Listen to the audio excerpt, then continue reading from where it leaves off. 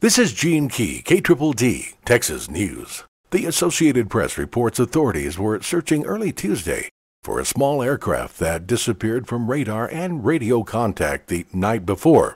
Lynn Lunsford, a spokesman for the Federal Aviation Administration, said a single engine Piper Comanche that departed from Abilene, Texas and was en route to Norman, Oklahoma lost contact about 7:30 p.m. Monday night when the craft was somewhere near Albany, Texas, about 150 miles west of Dallas. Lunsford said officials were still trying to determine who was on the airplane. He said the FAA was working with local authorities to determine what happened to the craft. The Associated Press reports a uniformed officer will ride each Dallas area commuter train after a series of violent incidents, including the shooting death of a person on a trail platform. The Dallas Morning News reports that the Dallas Area Rapid Transit Agency added more officers to trains and platforms in January. DART Executive Director Gary Thomas told the Garland City Council that there is a uniform presence on every single train we're running. He says that will continue indefinitely. More trains and buses are getting security cameras as well.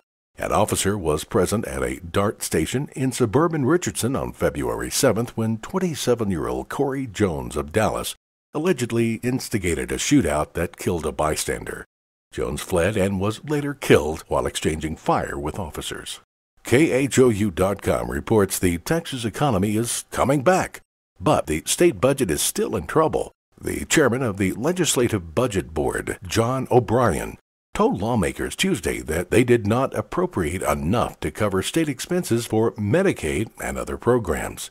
The state is short more than $4.1 billion in the current budget, the chief revenue estimator for the Texas Comptroller, John Heleman, said the Texas economy had rebounded faster than the rest of the nation.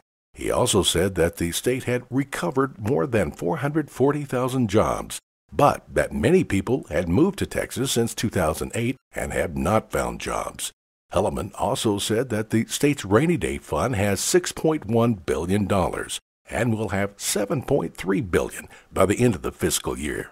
If you'd like the latest Dumas, Panhandle, and Texas news on your mobile device, you can follow KDDD News on YouTube. Simply search KDDD or Gene Key on Facebook or Twitter. This is Gene Key, SkyServe News.